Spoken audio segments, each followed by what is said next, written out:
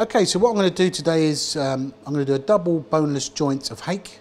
And what I'm going to do with the tail is I'm going to actually butterfly it. So first of all, you need to scale the fish.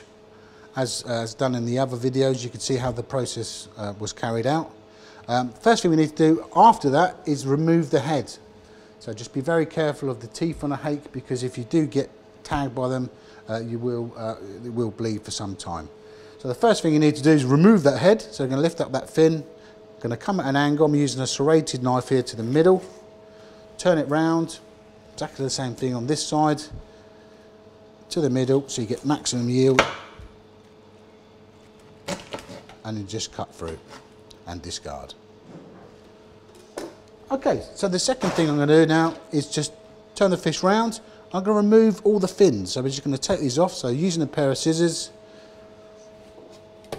going from the bottom up. So just going to take all those off, all the way up to the top. Just take those fins off. Just remove them this side and then turn it round and do exactly the same thing on the other side. All the way up to the top, to there. Okay, just discard those. And what we need to do now is just place our hand in the gut cavity to where it finishes. Okay, with your, with your finger, obviously remove your finger before cutting right the way through. We're just going to cut right the way through that bone. Just discard that to one side for a minute. Okay, so we've got uh, the top, top end of hake. So what I'm going to do first of all is I'm going to remove, just free off that bit from the cartilage to there, nice and neat finish. And I'm just going to open it up. Okay, so we have to remember with the uh, it works, the, the bone structure on the hake it works at 90 degree angle. So what we're going to do is just open it right out. Going to get our knife and we're just going to come underneath to there, one straight cut to there, to the middle, like that. Turn it round and do exactly the same thing. So come underneath to there, and then right the way up. Just, just going to free it off. Now what we do is we put our knife down, we're going to use our fingers because it's very, very soft. So just open that up to there. See we've freed that all off. Going to do exactly the same thing on this side. Move our fingers to there. Okay, turn it around again. Put our fingers in, I'm just going to lift through the bone and just pull it out. Okay, so open it out. And what we're going to do is get a nice cloth and just get rid of that uh, black belly membrane again. It probably just disappeared during the cooking process. However, it's a little bit unsightly, so we're just going to remove it with that cloth to there.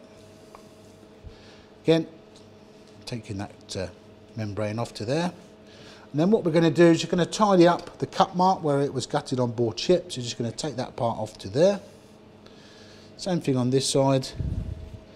And then what we're going to do is, is turn it around and find and locate the pin bones. Okay, so again, remember, use the pads of your fingers. You can see where they are, feel where they are, and just pull them out. Pull them out the same angle as they're showing the heads.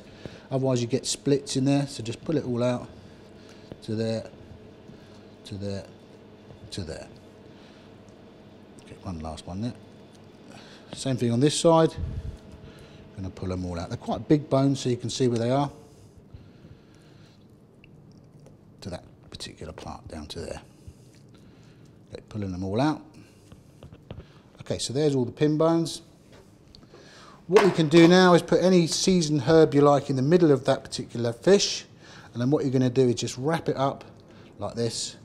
So it's just ready to go. So you've got the, the part in there is ready to go. So you can either wrap it in cling film really, really tightly, or you can put a few strings around it for the joint of hake. So that's just a different way of doing that one.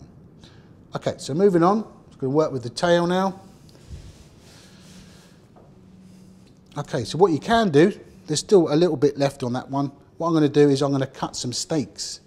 So what we're going to do is just going to cut down to the bone, all the way around the fish. It's very, very soft, so you have to be careful to that particular part. And then we're going to chop it off. So there's one steak. We'll probably get one more out to there. Just cut the way through. And also, if you want to get rid of the bloodline, what you can do is just grab, grab hold of your steak and just bounce it on a cloth just to take the blood out. Same thing on both sides, so you've got a nice blood-free steak. Same thing on this one, not too bad on there actually, just taking it off to there and it just takes it all off so you've got a really nice steak. What we're going to do with the tail is first of all I'm going to just trim it off with the scissors round to there.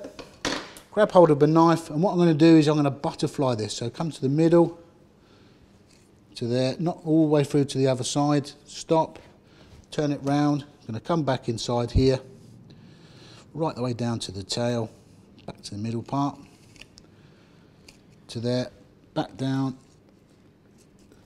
and then what I'm going to do is take my scissors, I'm just going to trim out that bone,